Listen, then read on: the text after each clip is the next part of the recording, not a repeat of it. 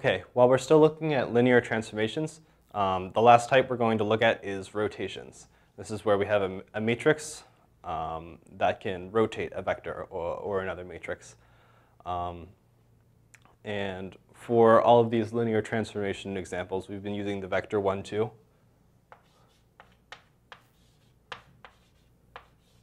Because I think that's pretty easy and simple to understand. So here's 1, 2.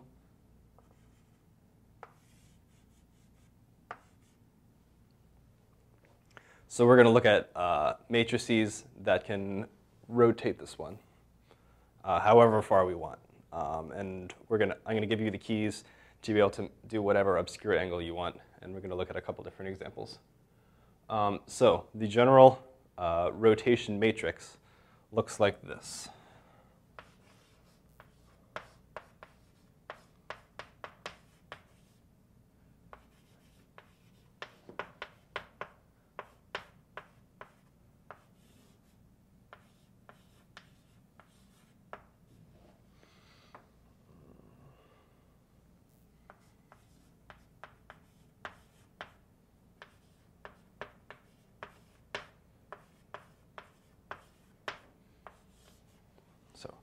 Cosine theta, negative sine theta, sine theta, cosine theta, where theta is the amount that you want to rotate uh, going counterclockwise.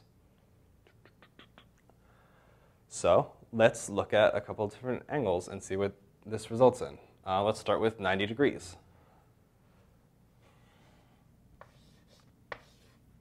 Um, that's the same as pi over 2.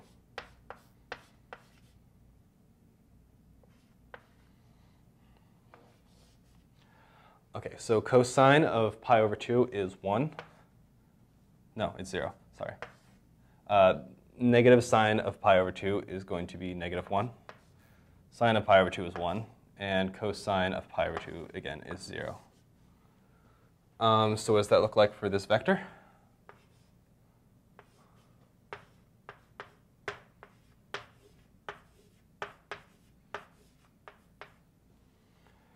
Uh, multiply that out, we get a negative 2 on top and a 1.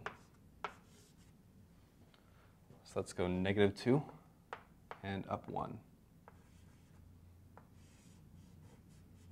So that's our new vector. And this vector is the same as that one, only uh, rotated 90 degrees.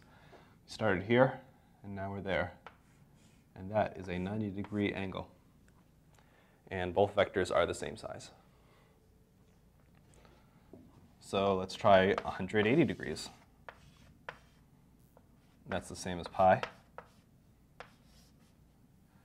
Um, so cosine of pi, I know my trick. That's 1. Um, sine of pi is 0. That's 0. And cosine again is 1.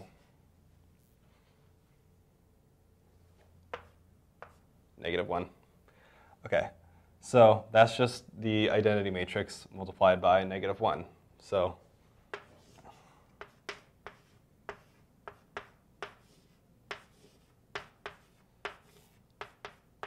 as can be expected, we'd get negative 1, negative 2. So negative 1, negative 2. That's another 90 degrees from where we first were. That's 180 degrees turned from where we started and it's basically just a scaling um, of this original vector by negative 1, so in the opposite direction. Cool. Um, just for kicks, let's try 270 degrees, or 3 pi over 2.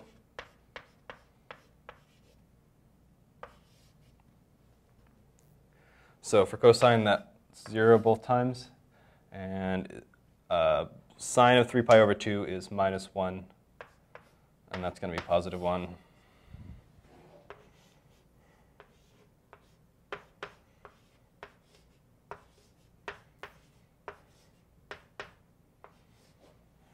So here we get 2 and negative 1. we go out 2, down 1, that's our last vector. Another 90 degrees. So here we have each of the uh, four points of a circle.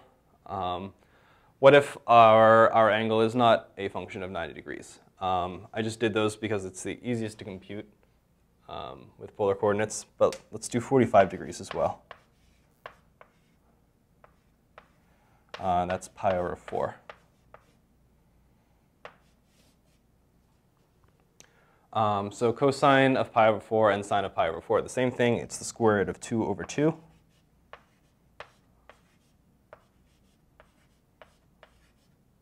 And just because that's minus sine, we'll get negative square root of 2 over 2.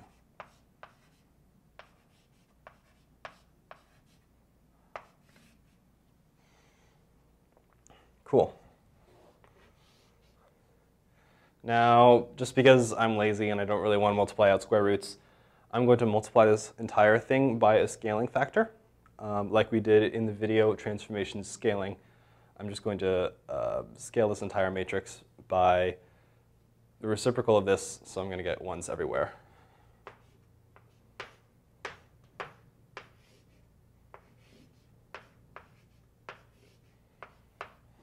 Okay, so this is a scaled version uh, of a rotation by 45 degrees.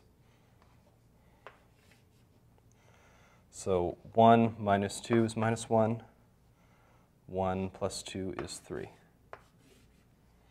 And we should get a vector um, not the same size as the one we started with because we scaled it, but just turned 45 degrees.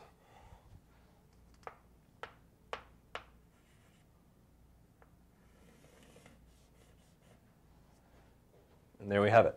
Um, this angle will bisect that one and that one, which was our original vector, and that was 90 degrees. So here's 45 degrees.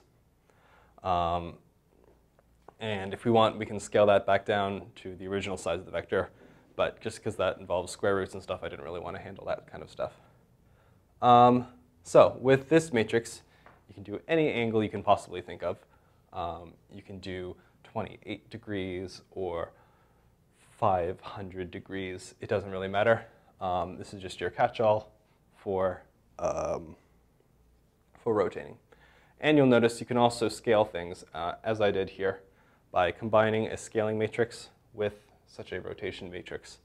Um, so now you can not only get an angle pointing in any direction you want, you can get any length you want as well. So uh, if you need to review any of the other videos, just go back and check, watch those again. Otherwise, keep watching for more linear algebra help. Thanks for watching this video. Be sure to check out the rest of the videos in this series and any of the other math-related videos on our channel. If you're not subscribed to our channel, click this link right here. For more help with linear algebra, check out Worldwide Differential Equations with Linear Algebra by Robert McOwen or Elementary Linear Algebra by Bruce Cooperstein. Both are available at an affordable price in digital formats on our website. Just click this link right here.